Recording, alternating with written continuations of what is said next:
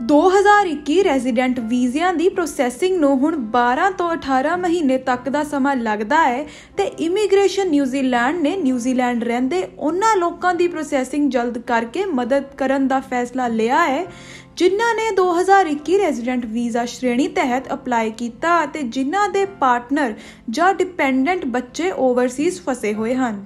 Immigration New Zealand ਦਾ ਕਹਿਣਾ ਹੈ ਕਿ ਅਸੀਂ ਕਰੋਨਾ ਕਾਰਨ ਵੱਖ ਹੋਏ ਪਰਿਵਾਰਾਂ ਦੀਆਂ ਮੁਸ਼ਕਿਲਾਂ ਤੋਂ ਜਾਣੂ ਹਾਂ ਅਤੇ ਹਰ ਹੀਲੇ ਰਾਹੀਂ ਅਸੀਂ ਇਹਨਾਂ ਪਰਿਵਾਰਾਂ ਨੂੰ ਮਿਲਾਉਣ ਦੀ ਕੋਸ਼ਿਸ਼ ਵਿੱਚ ਹਾਂ।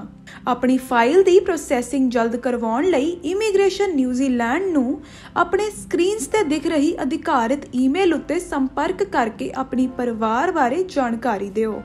ਹੁਣ ਤੁਹਾਨੂੰ ਦੱਸਦੇ ਹਾਂ ਕਿ ਜਲਦ ਪ੍ਰੋਸੈਸਿੰਗ ਕਰਵਾਉਣ ਲਈ ਕੀ ਹਨ ਯੋਗਤਾਵਾਂ।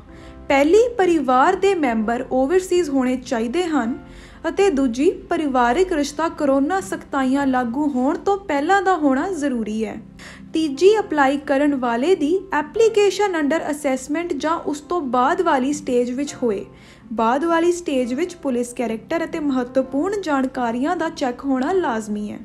ਈਮੇਲ ਕਰਨ ਮੌਕੇ ਆਪਣਾ ਪੂਰਾ ਨਾਮ ਅਤੇ ਜਨਮ ਦੀ ਮਿਤੀ, ਬੱਚਿਆਂ ਜਾਂ ਪਾਰਟਨਰ ਦੇ passport number, application number INZ client number ਪਾਉਣਾ ਜ਼ਰੂਰੀ ਹੈ।